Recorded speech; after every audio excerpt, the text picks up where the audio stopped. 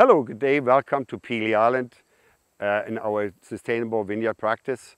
What you see here right next to me is organic matter, is our composting procedure. And what you see behind us is alfalfa, the, the land where we have most of that green mulch needed to, to produce this compost. This is the, a natural source of feeding plant material, especially our grapevines.